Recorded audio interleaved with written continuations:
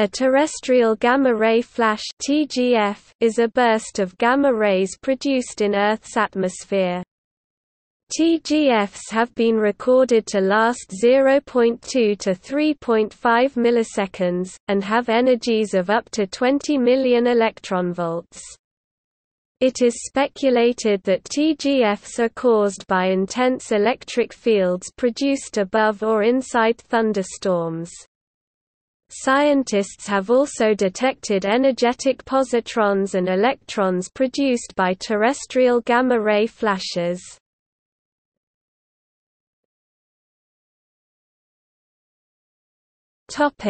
Discovery Terrestrial gamma-ray flashes were first discovered in 1994 by BATSE, or Burst and Transient Source Experiment, on the Compton Gamma Ray Observatory, a NASA spacecraft. A subsequent study from Stanford University in 1996 linked a TGF to an individual lightning strike occurring within a few milliseconds of the TGF. BATSE detected only a small number of TGF events in nine years 76, due to its having been constructed to study gamma-ray bursts from outer space, which last much longer. In the early 2000s, the Ramaty High Energy Solar Spectroscopic Imager satellite observed TGFs with much higher energies than those recorded by BATSE. The RHESSI data led scientists to estimate that approximately 50 TGFs occur each day, more than previously thought but still only representing a very small fraction of the total lightning on Earth, 3 to 4 million lightning events per day on average. A few years later, scientists using NASA's Fermi Gamma Ray Space Telescope, which was designed to monitor gamma rays, estimated that about 500 TGFs occur daily worldwide, but most go undetected.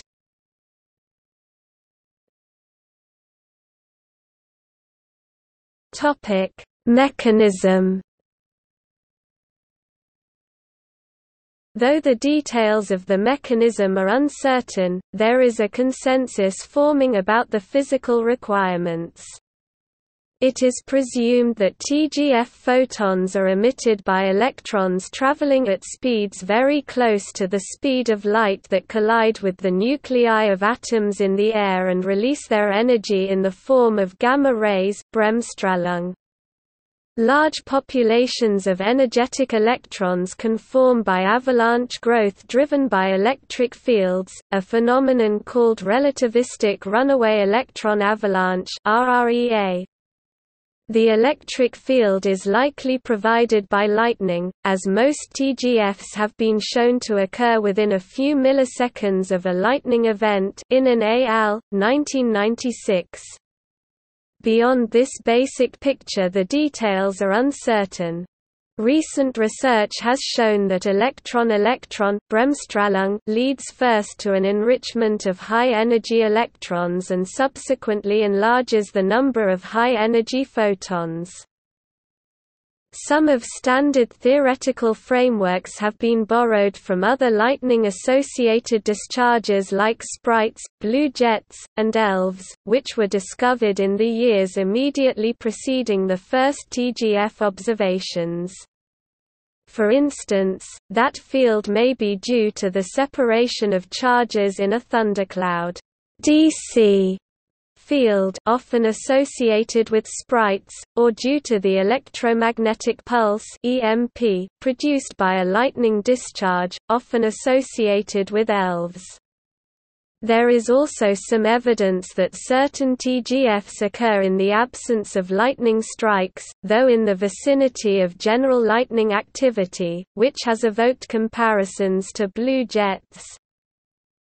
The DC field model requires a very large thundercloud charge to create sufficient fields at high altitudes e.g. 50 to 90 km, where sprites form.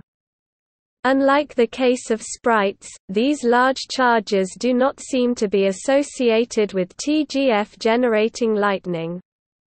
Thus the DC field model requires the TGF to occur lower down, at the top of the thundercloud 10 to 20 km, where a local field can be stronger.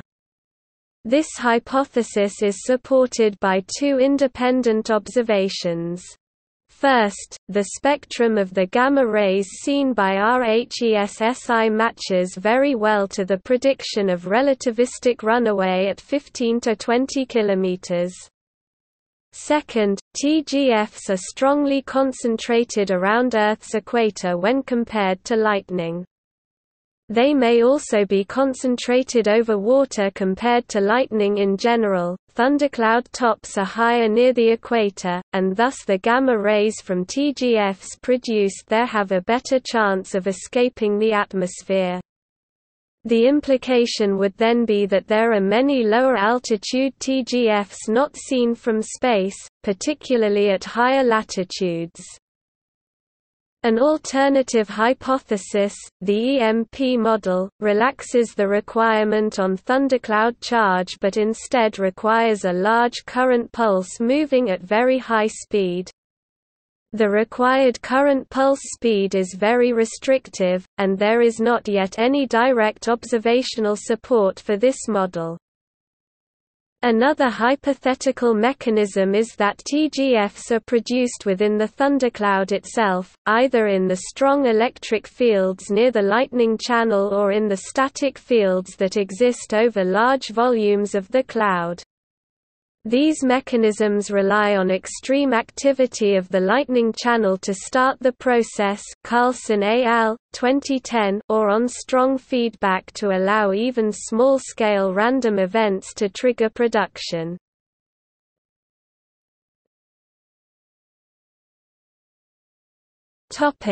Conjugate events It has been suggested that TGFs must also launch beams of highly relativistic electrons and positrons which escape the atmosphere, propagate along Earth's magnetic field and precipitate on the opposite hemisphere.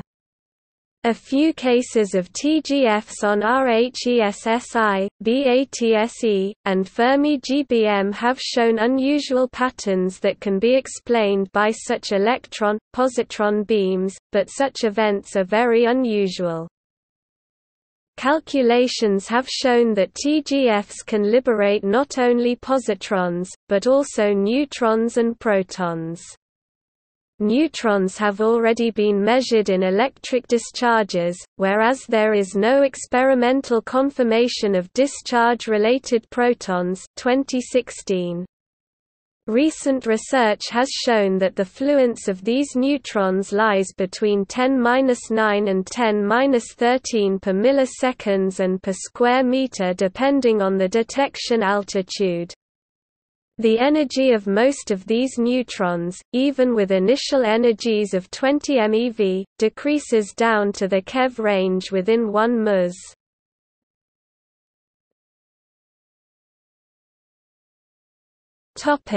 Other research Terrestrial gamma-ray flashes pose a challenge to current theories of lightning, especially with the discovery of the clear signatures of antimatter produced in lightning. It has been discovered in the past 15 years that among the processes of lightning is some mechanism capable of generating gamma rays, which escape the atmosphere and are observed by orbiting spacecraft. Brought to light by NASA's Gerald Fishman in 1994 in an article in Science, these so-called terrestrial gamma-ray flashes TGFs were observed by accident, while he was documenting instances of extraterrestrial gamma-ray bursts observed by the Compton Gamma Ray Observatory CGRO. TGFs are much shorter in duration, however, lasting only about 1 ms. Professor Umran Inan of Stanford University linked a TGF to an individual lightning stroke occurring within 1.5 milliseconds of the TGF event, proving for the first time that the TGF was of atmospheric origin and associated with lightning strikes. CGRO recorded only about 77 events in 10 years, however, more recently the Reuven Ramaty High Energy Solar Spectroscopic Imager spacecraft, as reported by David Smith of UC Santa Cruz, has been observing TGFs at a much higher rate, indicating that these occur about 50 times per day globally still a very small fraction of the total lightning on the planet. The energy levels recorded exceed 20 MeV. Scientists from Duke University have also been studying the link between certain lightning events and the mysterious gamma-ray emissions that emanate from the Earth's own atmosphere, in light of newer observations of TGFs made by RHESSI. Their study suggests that this gamma radiation fountains upward from starting points at surprisingly low altitudes in thunderclouds. Steven Cummer, from Duke University's Pratt School of Engineering, said, "...these are higher energy gamma rays than those coming from the Sun. And yet here they are coming from the kind of terrestrial thunderstorm that we see here all the time." Early hypotheses of this pointed to lightning generating high electric fields and driving relativistic runaway electron avalanche at altitudes well above the cloud where the thin atmosphere allows gamma rays to easily escape into space, similar to the way sprites are generated. Subsequent evidence however, has suggested instead that TGFs may be produced by driving relativistic electron avalanches within or just above high thunderclouds. Though hindered by atmospheric absorption of the escaping gamma rays, these theories do not require the exceptionally intense lightning that high-altitude theories of TGF generation rely on.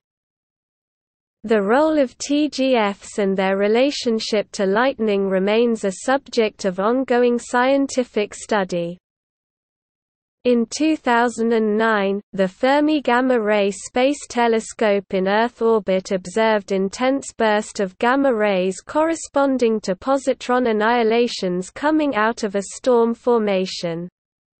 Scientists wouldn't have been surprised to see a few positrons accompanying any intense gamma-ray burst, but the lightning flash detected by Fermi appeared to have produced about 100 trillion positrons. This was reported by news media in January 2011, and had never been previously observed. The Atmosphere Space Interactions Monitor, ASIM, an experiment dedicated to study TGFs, was launched to the International Space Station on 2 April 2018 and is scheduled to be mounted on the Columbus External Payload Facility in late April 2018.